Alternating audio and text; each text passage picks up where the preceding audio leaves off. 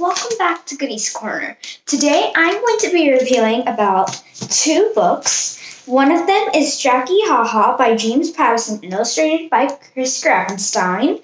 Then the other book that I'm going to be reviewing today is a graphic novel, Jacky Ha-Ha, and it's the same author, James Patterson, and illustrated by Chris Grabenstein. These two books are really, really great. I thought the Jacky Ha-Ha book was going to be really, really funny, but it was a little sad. The main saddest part, where it was her Nana dies, that was the most saddest part to me. And let's get started talking about the author, James Patterson. James Patterson is a New York Best Time seller, and he has donated more than 1 million books Plus, he writes many YA books, which means young adult books. And that's a little bit about James Patterson. So, first, let's get started talking about Jacky Ha-Ha. Jacky Ha-Ha is practically where a girl called Jacky Hart has six sisters and has a mom and dad. Her mom goes far, far away to Saudi Arabia. And for for her work for a civil war or something like that.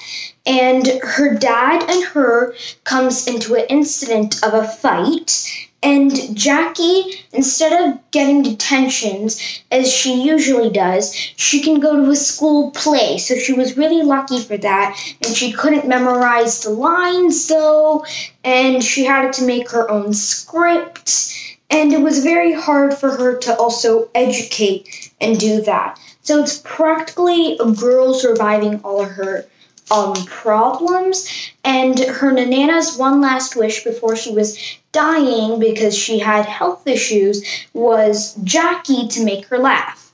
But when she was trying to make her Nana laugh, Nana died, and she had to still go to the play and she went to the play and everybody else laughed and everybody meant Nana to her. So that's that.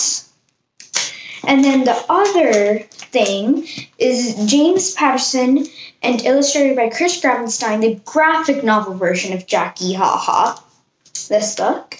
In this book, the major difference is that in the chapter book, Jacky is a young kid. And in this book, Jacky is older, she's an adult, she raised two kids, and she found a husband, and she's living a happy life. And just like her mom, in the other book, book, she came back from Saudi Arabia and won this action award.